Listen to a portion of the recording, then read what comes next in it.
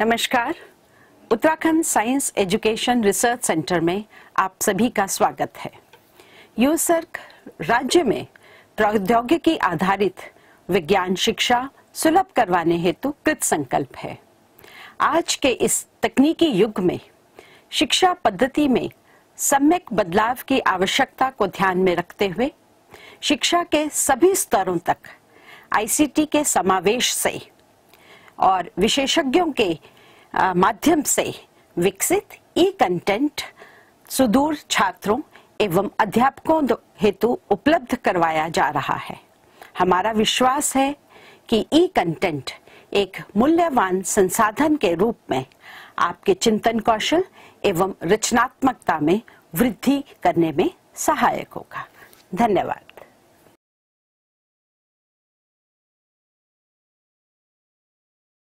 आज हम सॉल्व करेंगे अपने फ़र्स्ट चैप्टर के कुछ बेसिक और बहुत ही इंपॉर्टेंट क्वेश्चंस। तो इसमें जो पहला क्वेश्चन है, निम्नलिखित के आणविक द्रव्यमानों का परिकलन कीजिए। तो आपको इसमें दो पार्ट्स दिए गए हैं। पहला, आपको जल के अणु का द्रव्यमान ज्ञात करना है और दूसरा मेथेन यानी कि CH4 का आणविक द्रव्यमान ज्ञात करना है। तो एक एक करके इनको सॉल्व करते हैं। देखिए, जल का अणु, यानी कि H2O इसके आणविक द्रव्यमान का परिकलन आप किस प्रकार से करेंगे? दो, यहाँ पर हाइड्रोजन के परमाणुओं की संख्या है है ना?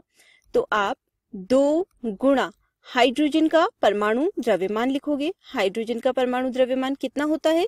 एक इकाई, ठीक है? प्लस ऑक्सीजन के कितने परमाणु हैं? ऑक्सीजन का एक ही परमाणु है और ऑक्सीजन के परमाणु का द्रव्यमान कितना होता है? सोलह इकाई, ठीक है? अब इसको सॉल्व कीजिए तो इसको जब आप सॉल्व करेंगे, ये कितना हो जाएगा? टू प्लस सिक्सटीन यूनिट या फिर इकाई, ठीक है? और जो H2O है या फिर जो जल का अणु है, उसका द्रव्यमान आपका आ जाएगा 18 यूनिट या फिर 18 इकाई, ठीक है? इसी प्रकार से CH4 यानी कि मिथेन का आणविक द्रव्यमान भी ज्ञात कर सकते हैं। तो देखिए कार्बन के एक परमाणु का द्रव्यमान कितना होता है? 12 इकाई या फिर 12 यूनिट, है ना? और एक ही तो परमाणु है, कार्बन का। प्लस हाइड्रोजन के एक परमाणु का द्रव्यमान कितना होता है?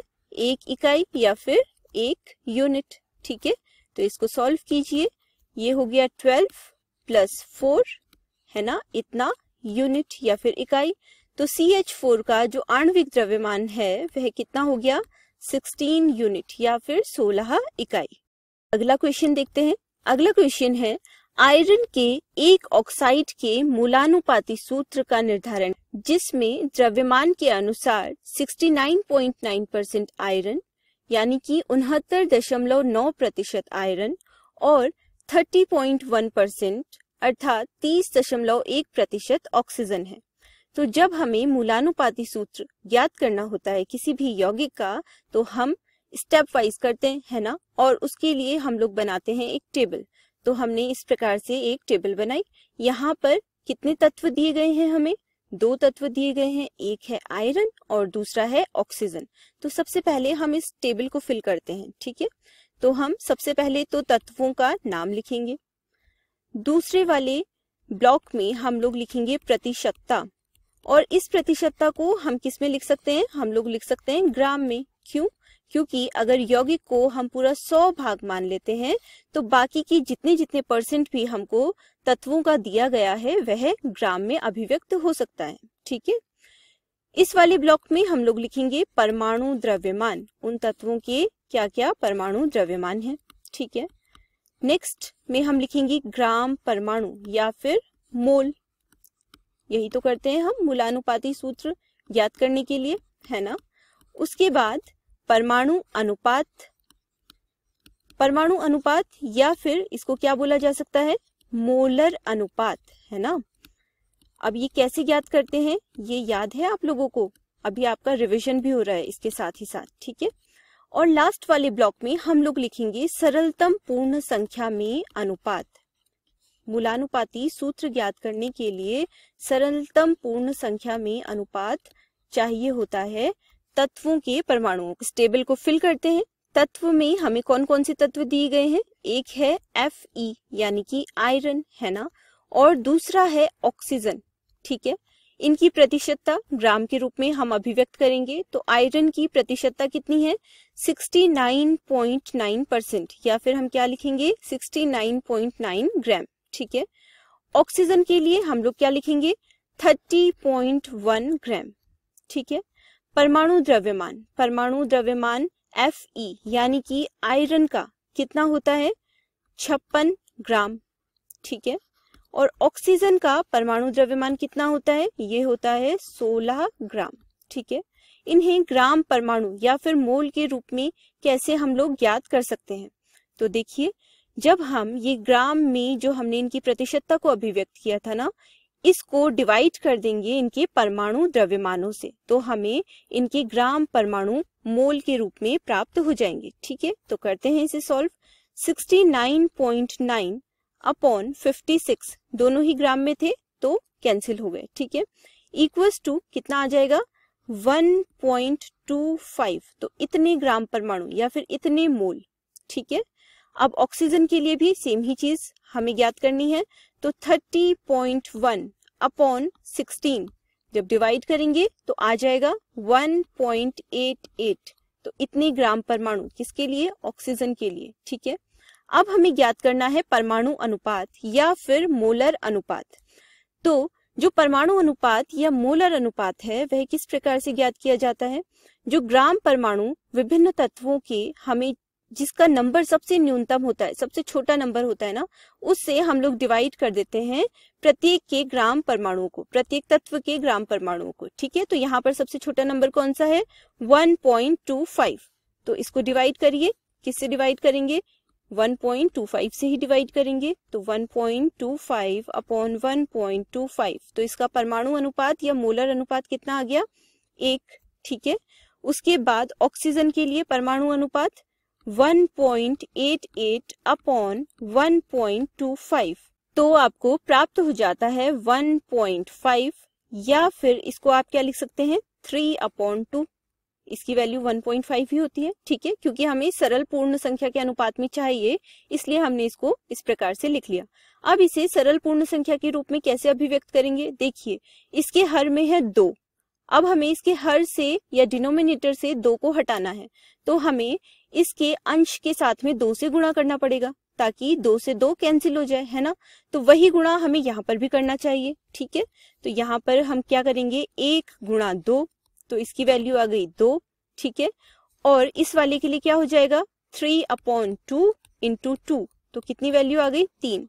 तो यहाँ पर जो सरलतम पूर्ण संख्या का अनुपात बन जाएगा, वह क्या हो जाएगा? दो अनुपात तीन हो जाएगा, ठीक है? तो इसको हम क्या लिख सकते हैं? एफ़ ई यानी कि आयरन ठीक है? और इसका जो अनुपात है, किसके साथ में? ऑक्सीजन के साथ में। वह किसके बराबर आ जाएगा? वह आ जाएगा दो अनुपात तीन के बराबर। ठीक है? तो हमने ये लिख लिया। अब इसका मूलानुपाती सूत्र क्या हो जाएगा? इसका मूलानुपाती सूत्र हम लोग कैसे ज्ञात कर सकते हैं? देखिए, ये क्या है? एफ़ ई है ना? और इसके साथ में क्या आ जाएगा? दो ओ थ्री ठीक है? तो इसका जो मूलानुपाती सूत्र है, वह क्या बन गया? वह बन गया F E two O three ठीक है? समझ गया आप लोग इतना? तो ये तो हो गई दिए गए यौगिक के लिए मूलानुपाती सूत्र की गणना। ठीक है? अब अगला क्वेश्चन देखते हैं। अगला प्रश्न है 0.375 मोलरता के 500 मिलीलीटर जली विलियन बनाने के लिए आवश्यक सोडियम एसिटेट सोडियम एसिटेट क्या होता है? C H three C O O N A के द्रव्यमान की गणना कीजिए। सोडियम एसिटेट का मोलर द्रव्यमान आपको दिया गया है 82 ग्राम प्रति मोल। ठीक है? ये सबसे पहले तो नोट कर लेते हैं, हमें इस क्वेश्चन में दिया क्या क्या गया है। हमें दिया गया है सोडियम एसिटेट का मोलर द्रव्यमान, यानी कि C H three C O O N A का मोलर द्रव्यमान। और कितना दिया गया है? बयासी दशमलव शून्य ग्राम प्रति मोल, है ना?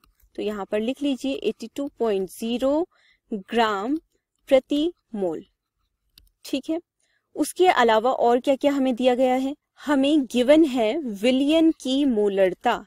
कितनी है? 0.375 मोलर, है ना? तो इसको क्या लिख सकते हैं हम लोग? Equals to 0.375 molar capital M से प्रदर्शित करते हैं ना, मोलरता को, या फिर 0.375 इसकी इकाई क्या होती है? मोल प्रति लीटर। ठीक है? और क्या गिवन है इस क्वेश्चन में? ये 500 मिलीलीटर जली विलियन, है ना? यानी कि विलियन का आयतन भी हमको दिया गया है। तो हम लिख लेते हैं, विलियन का आयतन। लेकिन आयतन हमें किसमें दिया गया है? मिलीलीटर में दिया गया है। जिसे हमें किसमें चेंज करना चाहिए? लीटर में, ठीक है? तो ये हो जाएगा 500 अपॉन 1000 लीटर, ठीक है? क्योंकि हमें 500 मिलीलीटर में दिया गया था। जबकि हमें जो मोलरता होती है, वह विलियन की आयतन प्रति लीटर में हम लोग ज्ञात करते हैं, ठीक है? तो ये इक्वल टू हो जाएगा 0.5 लीटर के, ठीक है? अब आपको ज्ञात करना है सोडियम एसिटेट का द्रव्यमान। तो एक बार हम लोग विलियन की मोलरता का ना यहाँ पर फॉर्मूला लिखते हैं या फिर गणितीय रूप लिखते हैं। तो विलियन की मोलरता बराबर किसकी हो जाएगी? इस क्वेश्चन के अकॉर्डिंग लिखते हैं उसको, ठीक है? तो यह हो जाएगी सोडियम एसिटेट यानी कि C H three C O O N A इसके द्रव्यमान अपॉन मोलर द्रव्यमान मोलर द्रव्यमान किसका? इसी का, सोडियम एसिटेट का C H three C O O N A का, ठीक है? और इसका होल अपॉन प्रति लीटर आयतन में ज्ञात की जाती है ना मोलरता तो विलियन का आयतन, और किसमें होता है विलियन का आयतन? लीटर में। इसीलिए तो हमने 500 मिलीलीटर को लीटर में चेंज किया था, है ना? तो इस फॉर्मूले से हम लोग सोडियम एसिटेट का द्रव्यमान तो ज्ञात कर ही सकते हैं, क्योंकि हमारे पास C H three C O O N A यानी कि सोडियम एसिटेट का मोलर द्रव्यमान हमें पता है, यहाँ पर हम उसे पुट कर देंगे। विलियन का आयतन हमें मालूम है, यहाँ पर हम उसकी वैल्यू पुट कर देंगे। विलियन की मोलरता हमें मालूम है, उसकी वैल्यू हम यहाँ पर पुट कर देंगे तो बचा ये सोडियम एसिटेट का द्रव्यमान, उसकी गणना हम इससे कर लेंगे। ठीक है? तो चलिए इसकी वैल्यूज़ पुट करते हैं। विलियन की मोलरता कितनी गिवन है? 0.375 मोल प्रति लीटर तो यहाँ पर हमने लिख दिया 0.375 मोल प्रति लीटर प्रति लीटर को क्या लिख सकते हैं? लीटर की पावर माइनस वन ठीक है? Equals to C H three C O O N A का द्रव्यमान, या फिर सोडियम एसिटेट का द्रव्यमान. अपॉन मोलर द्रव्यमान, और जो ये मोलर द्रव्यमान है, ये मल्टीप्लाई किसके साथ में हो जाएगा? विलियन के आयतन के साथ में. ठीक है? तो हम लोग यहाँ पर वैल्यूज़ रखते हैं। मोलर द्रव्यमान कितना दिया गया है? 82.0 ग्राम प्रति मोल। ठीक है? तो हमने यहाँ पर इसकी वैल्यू रख दी। इन टू विलियन का आयतन लीटर में कितना है? 0.5 लीटर। ठीक है? अब देखिए, इसको सॉल्व कीजिए। तो ये सारी वैल्यूज़ जो राइट हैंड साइड पर डिवाइड में है लेफ़्ट हैंड साइड में जाएँगी तो मल्टीप्लाई हो जाएँगी, है ना?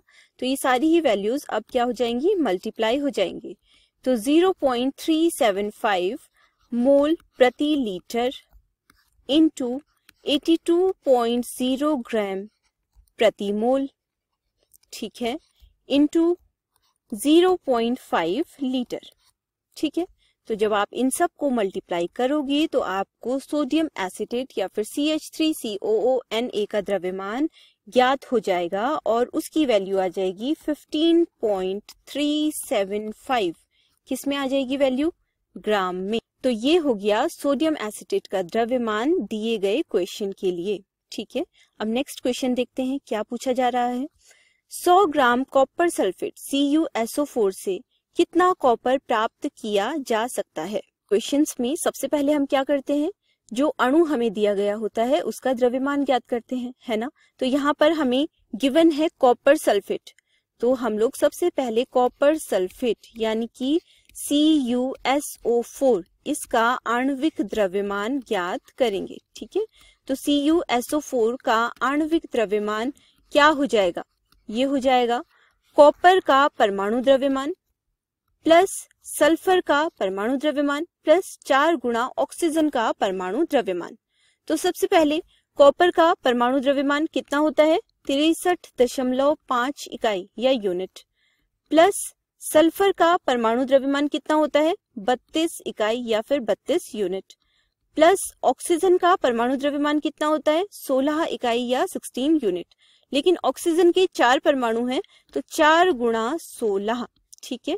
अब इसको सॉल्व कीजिए। जब आप इसको सॉल्व करेंगे तो कॉपर सल्फेट का जो आणविक द्रव्यमान है, वह आपको प्राप्त हो जाएगा 159.5 यूनिट ठीक है? अब जब हमें कॉपर सल्फेट का आणविक द्रव्यमान एक इकाई प्राप्त हो गया है तो जो कॉपर सल्फेट है या CuSO4 है, उसका ग्राम आणविक द्रव्यमान क्या हो जाएगा? ग्राम में आ जाएगा, है ना? और सेम टू सेम वैल्यू रहेगी। तो इसका ग्राम आणविक द्रव्यमान हो गया 159.5 ग्राम ठीक है? तो अब हम लोग लिखेंगे, चूँकि 159.5 ग्राम कॉपर सल्फेट यानी कि CuSO4 में कॉपर की मात्रा कितनी है? कॉपर कितना ग्राम है? तो देखिए, एक ग्राम टोटल कॉपर सल्फेट का क्या है? ग्राम आणविक द्रव्यमान है। इसमें कॉपर कितना है? 63.5 ग्राम ही तो है। तो यहाँ पर लिख लेते हैं 63.5 ग्राम ठीक है? इसलिए 100 ग्राम, हमें 100 ग्राम के लिए ज्ञात करना है है ना? तो 100 ग्राम कॉपर सल्फेट में कॉपर कितना होगा? तो बताइए, कैसे करेंगे? वही एकक नियम या यूनिटरी मेथड का प्रयोग करिए। तो यहाँ पर हो जाएगा 63.5 इंटू हंड्रेड अपॉन 159.5 ठीक है? तो इतना ग्राम कॉपर इसको सॉल्व कीजिए। इसको जब आप सॉल्व करेंगे तो आपका आंसर आ जाएगा 39.81 ग्राम। ठीक है? तो इसका क्या मतलब है? कि 100 ग्राम कॉपर सल्फेट से 39.81 ग्राम, यानी कि उनतालीस दशमलव आठ एक ग्राम कॉपर प्राप्त किया जा सकता है। इतना समझ गए? अब अगला प्रश्न करते हैं। अगला प्रश्न है कि बताइए एस आई पद्धति के अनुसार वेग आधारभूत राशि है अथवा व्युत्पन्न राशि है? वेग एक व्युत्पन्न राशि है। क्यों? क्योंकि जो वेग है, वह दो राशियों, दो आधारभूत इकाइयों पर निर्भर करता है। एक होता है विस्थापन और एक होता है समय, क्योंकि वेग बराबर होता है विस्थापन बट्टे समय। ठीक है। अब विस्थापन का मात्रक क्या हो जाएगा? जो लंबाई का मात्रक होता है या जो दूरी का मात्रक होता है है ना? तो उसका मात्रक क्या होता है? मीटर। और समय का मात्रक क्या होता है? सेकंड। तो इसको आप क्या लिख सकते हैं? मीटर प्रति सेकंड या फिर मीटर सेकंड की पावर माइनस वन, ठीक है?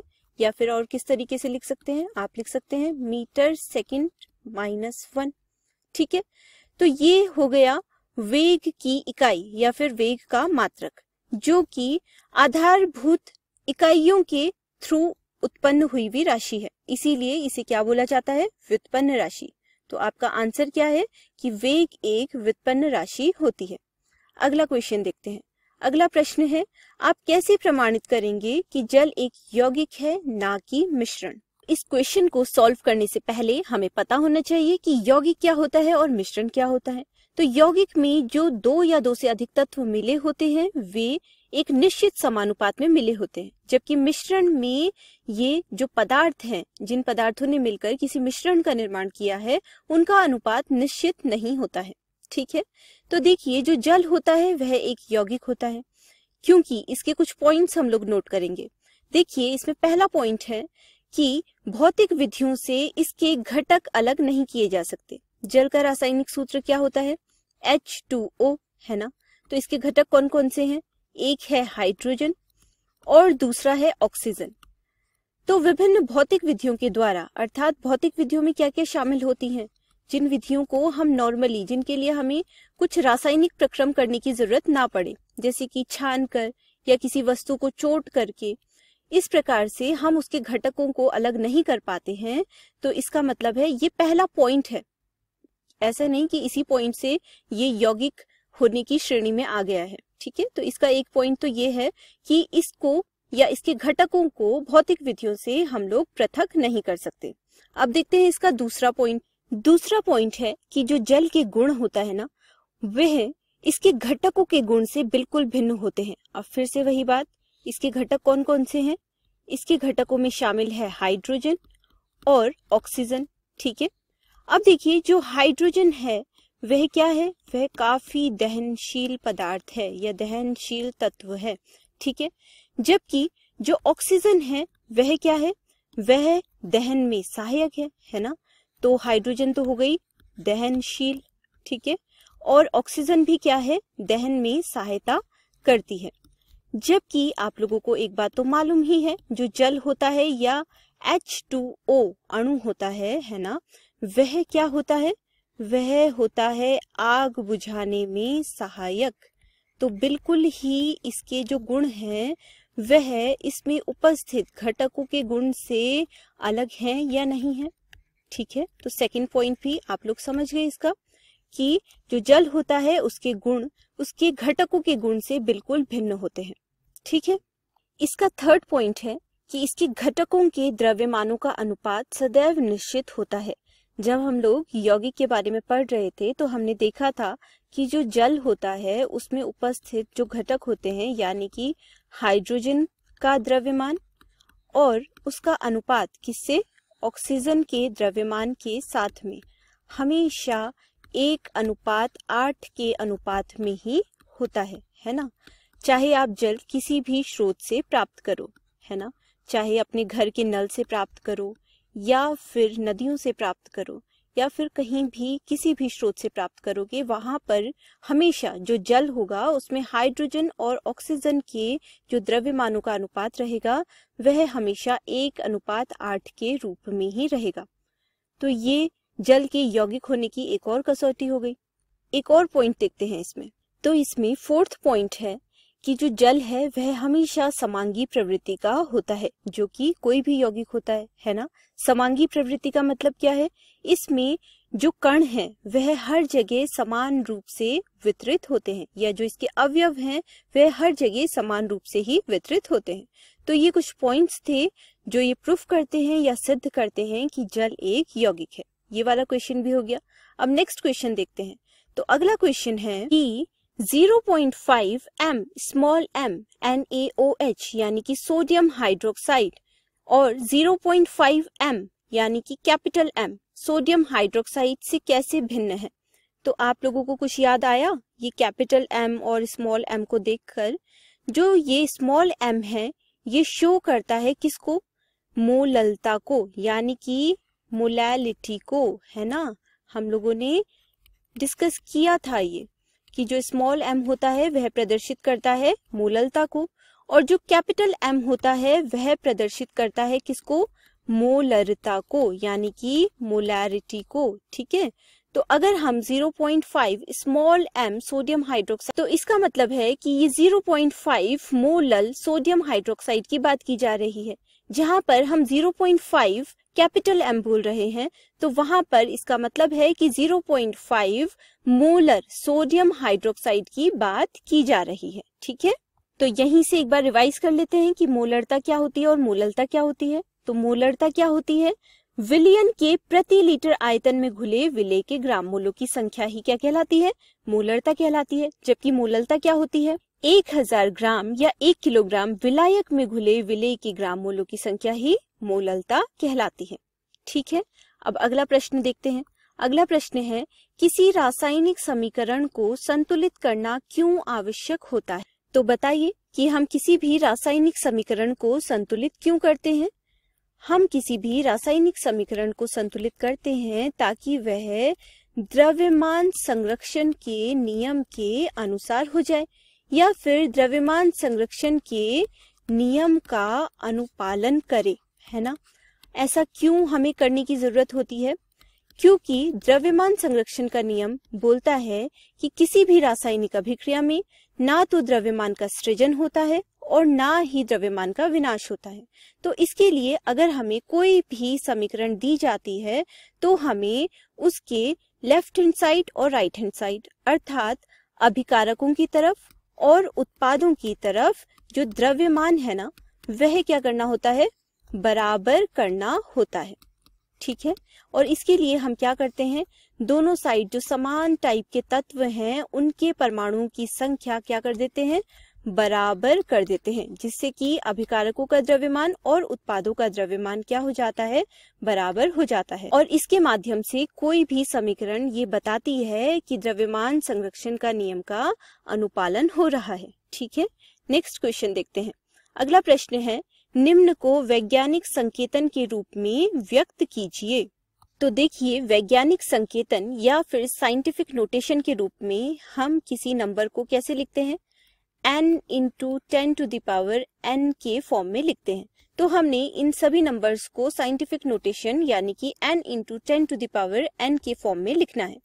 अब देखिए 0.0048 इसको हम वैज्ञानिक संकेतन के रूप में कैसे लिख सकते हैं?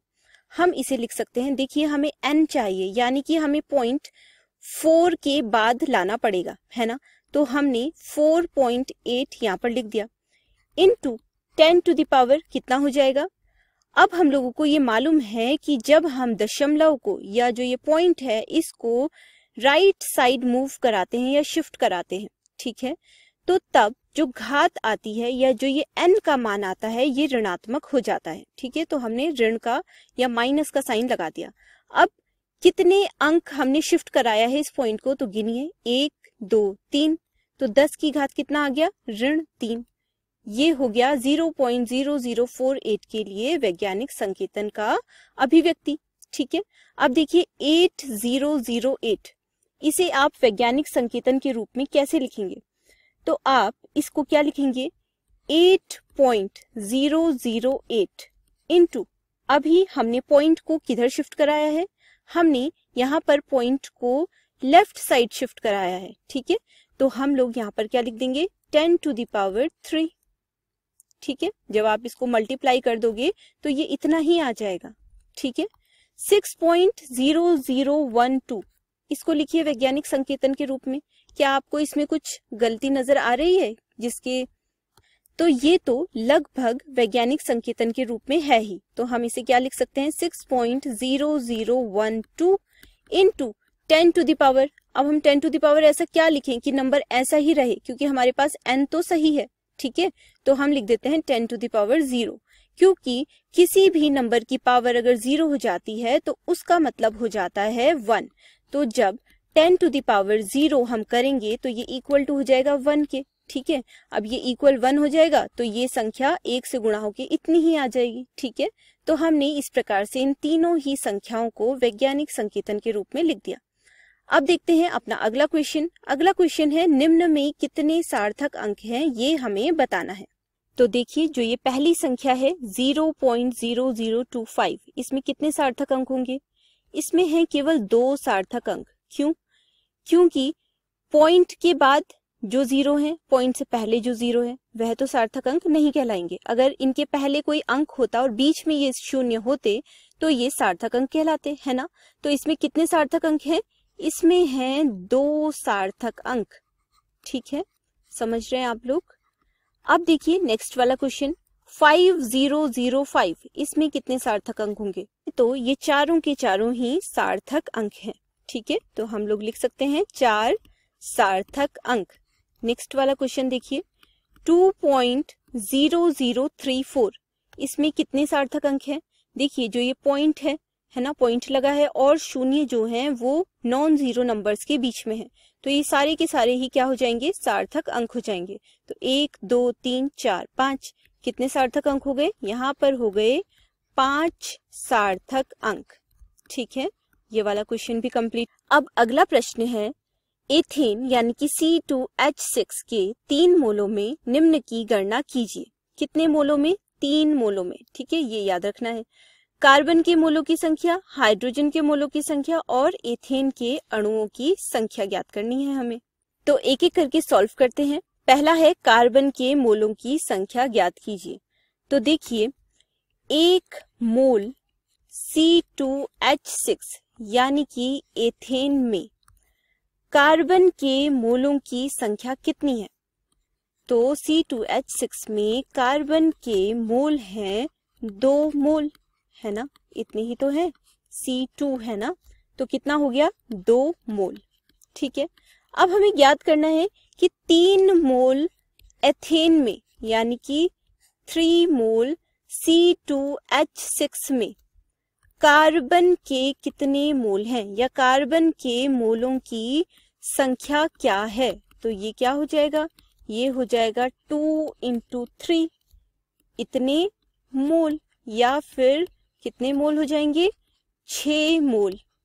तो हमने ज्ञात कर लिया कि तीन mole C two H six यानी कि एथेन में कार्बन के मोल छ मोल हो जाएँगे। ठीक है? अब हमें ज्ञात करना है हाइड्रोजन के मोलों की संख्या।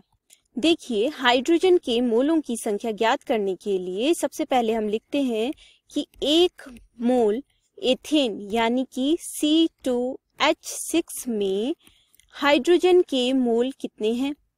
तो एक mole C two H six में हाइड्रोजन के मोल हैं छ मोल, है ना? इतने ही तो है। तो यहाँ पर लिख लीजिए छ मोल। तो इसका क्या मतलब है? अगर हमें तीन mole C two H six या फिर एथेन के लिए हाइड्रोजन के मोलों की संख्या ज्ञात करनी है तो वे कितने हो जाएँगे? वे हो जाएँगे छ गुणा तीन अठारह मोल। ठीक है? तो इसका मतलब तीन मोल एथेन में हाइड्रोजन के मोलों की संख्या अठारह मोल होगी। ठीक है? अब इसका जो लास्ट क्वेश्चन था, एथेन के अणुओं की संख्या किसमें? एथेन के तीन मोलों में हमें ज्ञात करनी है। एक mole C two H six में या फिर एथेन में अणुओं की संख्या कितनी हो जाएगी? एक मोल की जब भी हम बात करते हैं तो वह कितने नंबर के बराबर होता है? वह होता है six point zero two two into ten to the power twenty three संख्या के, है ना? तो यहाँ पे संख्या लिख लीजिए या अणु लिख लीजिए, कुछ भी लिख लीजिए, ठीक है? तो इतने अणु हो जाएँगे एक मोल एथेन में। हमें कितने के लिए ज्ञात करना है? हमें ज्ञात करना है तीन मोल के लिए। तो तीन मोल एथेन, यानी कि सी टू एच सिक्स में अणुओं की संख्या कितनी हो जाएगी? तो इस एवोगेद्रो नंबर को कितने से गुणा कर देना है? तीन से गुणा कर देना है। ठीक है? तो हमें प्राप्त हो जाएगा तीन मोल एथेन में अणुओं की संख्या। तो इसका आंसर कितना आ जाएगा? ये आ जाएगा 1.81 into ten to the power twenty four अणु, ठीक है? तो इतनी संख्या में जो है, अणु होंगे एथेन के तीन मोलों में, ठीक है? ये वाला पॉइंट क्लियर हुआ आपको कि ये ten to the power twenty four क्यों आ गया? यहाँ तो ten to the power twenty three ही था। तो देखिए, इसको कैसे सॉल्व किया है? ये जब आप इसको गुणा करेंगे तो ये आ जाएगा आपके पास eighteen point zero six six into ten to the power twenty three अणु। हमें लिखना है इसे वैज्ञानिक संकेतन के आधार पर, और उसमें क्या होता है? हम बना देते हैं इसको एन और एन के लिए हमें क्या करना होता है? एक अंक पहले रखना होता है पॉइंट से पहले, ठीक है? तो हम इसको लिख देते हैं वन पॉइंट एट अब ये यहाँ पे ज़ीरो था, ये पाँच से बड़ा नंबर है तो हमने यहाँ पर एक ऐड कर दिया तो ये वन पॉइंट एट वन हो गया। इनटू हमने पॉइंट किधर की साइड शिफ्ट बाई तरफ़ शिफ्ट किया है, ठीक है? तो यहाँ पर क्या जुड़ जाएगा? एक जुड़ जाएगा और ये कितना आ जाएगा? चौबीस, ठीक है? तो ये बन गया 1.81 point eight one into ten to the power twenty four अणु। तो ये क्वेश्चन भी हमारा सॉल्व हो गया। अब करते हैं अगला क्वेश्चन अगले क्वेश्चन में एक अभिक्रिया दी गई है। हाइड्रोजन क्लोराइड या फिर हाइड्रोक्लोरिक अम्ल ने क्रिया की है मैग्नीज डाइऑक्साइड के साथ में। और उत्पाद के रूप में निर्मित कर दिया है मैग्नीज क्लोराइड, क्लोरीन गैस और जल। इस अभिक्रिया के अनुसार पाँच ग्राम मैग्नीज डाइऑक्साइड के साथ कितने ग्राम एच यानी कि हाइड्रोजन क्लोराइड की अभिक्रिया हुई है? ये हमें इस क्वेश्चन में इसकी गणना करनी है। तो ये तो हमने नोट कर ली समीकरण, जो कि हमको दी गई थी। ठीक है? अब देखिए, सबसे पहले हम लोगों को ये चेक करना है कि हमें पदार्थ कौन कौन से किन किन की ज़रूरत है इस क्वेश्चन के अकॉर्डिंग तो हमें मैग्नीज डाइऑक्साइड का भार या द्रव्यमान पाँच दशमलव शून्य ग्राम दिया गया है और हमें चेक करना है कि इसने कितने ग्राम एच के साथ में अभिक्रिया की है। ठीक है? तो इसका मतलब है हमें ये एच और ये मैग्नीज डाइऑक्साइड इसकी ज़रूरत है। तो हम इन दोनों का ही आणविक द्रव्यमान सबसे पहले ज्ञात कर लेते हैं। पहले हाइड्रोजन क्लोराइड के लिए। देखिए, यहाँ पर इसके आगे से चार लगा हुआ है। इसका मतलब चार का गुणा है हाइड्रोजन के साथ में भी और क्लोरीन के साथ में भी। इसका क्या मतलब है कि जो ये हाइड्रोजन है, इसके परमाणुओं की संख्या भी चार है और क्लोरीन के परमाणु की संख्या भी चार है। तो चार को हम कॉमन ले लेते हैं और हाइड्रोजन का परमाणु द्रव्यमान लिखते हैं एक ग्राम या फिर अगर ग्राम आणविक द्रव्यमान के रूप में अगर हमें ज्ञात करना है तो हम इन दोनों के ही जो परमाणु हैं, इन दोनों तत्वों के जो परमाणु द्रव्यमान है, उन्हें ग्राम में ही लिख लेते हैं, ठीक है? तो एक ग्राम प्लस क्लोरीन का औसत परमाणु द्रव्यमान कितना होता है? पैंतीस दशमलव पाँच ग्राम, ठीक है? तो इसको सॉल्व करेंगे तो इसका आणविक द्रव्यमान आपको ज्ञात हो जाएगा 146 ग्राम, ठीक हो गया? अब मैग्नीज डाइऑक्साइड के लिए हम लोगों को ज्ञात करना है इसका आणविक द्रव्यमान। तो मैग्नीज का परमाणु द्रव्यमान कितना होता है? पचपन ग्राम। प्लस ऑक्सीजन का ग्राम परमाणु द्रव्यमान कितना हो जाएगा? दो परमाणु है, दो गुणा सोलह ग्राम, ठीक है? और इसको जब हम लोग सॉल्व करेंगे तो ये आ जाएगा सतासी ग्राम या एटी सेवन ग्राम, ठीक है? तो हम लोगों ने इस वाले अणु के लिए और इस वाले अणु, दोनों के ही आणविक द्रव्यमान ज्ञात कर लिए। अब हमारे लिए इजी हो गया। इस क्वेश्चन को सॉल्व करना, है ना? तो हम इनके आणविक द्रव्यमानों को देखते हुए ये लिख सकते हैं कि सतासी ग्राम या 87 ग्राम मैग्नीज डाइऑक्साइड MnO2 से अभिक्रिया करने वाला जो हाइड्रोजन क्लोराइड है HCl है, वह कितना है? वह है 146 ग्राम। तो हमने यहाँ पर लिख दिया 146 ग्राम, ठीक है? तो इसीलिए हम लोग पाँच ग्राम मैग्नीज डाइऑक्साइड से अभिक्रिया करने वाले हाइड्रोजन क्लोराइड की मात्रा की गणना कर सकते हैं, है ना? कैसे करेंगे? 146 upon eighty seven into five. और ये किसमें आ जाएगा? ग्राम में। जब आप इसको सॉल्व करेंगे तो आपका आंसर आ जाएगा 8.39 ग्राम। ठीक है? तो आपके क्वेश्चन का आंसर यही है कि पाँच ग्राम मैग्नीज डाइऑक्साइड के साथ में आठ दशमलव तीन नौ ग्राम एचसीएल या हाइड्रोजन क्लोराइड की अभिक्रिया होगी। ये क्वेश्चन भी सॉल्व हो गया। अब अगला प्रश्न देखते हैं। अगला प्रश्न है छियानबे इकाई या 96 यूनिट ओजोन में कितने ऑक्सीजन परमाणु उपस्थित होते हैं?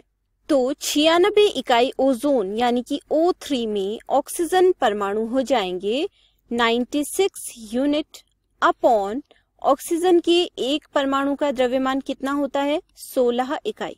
ठीक है? अब इसको इसमें भाग दे दीजिए। तो 16 सिक्स नाइन्टी सिक्स होता है। तो यहाँ पर कितना आ जाएगा? छह परमाणु। ठीक है?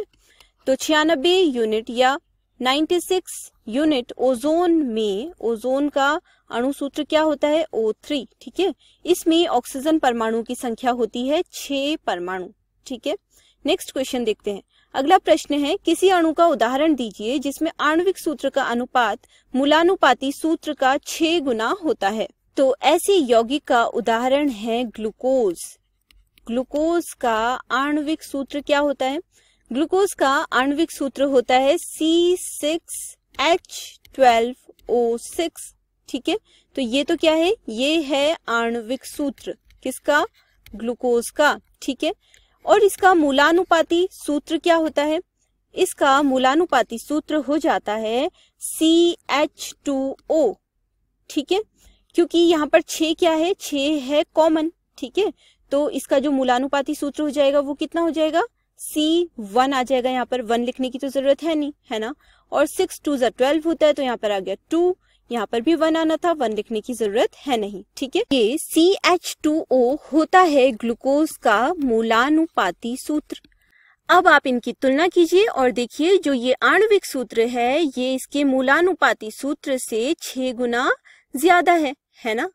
तो ये हो गया हमारे जो क्वेश्चन हमसे पूछा गया था, ऐसे अणु का उदाहरण जिसमें आणविक सूत्र का अनुपात, मूलानुपाती सूत्र का छह गुना होता है तो इसका आंसर है ग्लूकोज। ठीक है? तो हमने बहुत सारे क्वेश्चन सॉल्व कर लिए अपने फ़र्स्ट चैप्टर से रिलेटेड ये सारे ही क्वेश्चन बहुत ज़्यादा इंपॉर्टेंट है तो इनकी प्रैक्टिस आपने करनी है। और ऐसे ही कुछ और क्वेश्चन जो आपको आपकी बुक्स में कहीं पर भी मिलते हैं, उनकी भी खूब सारी प्रैक्टिस करनी है। और साथ ही साथ रिविजन करते रहना है।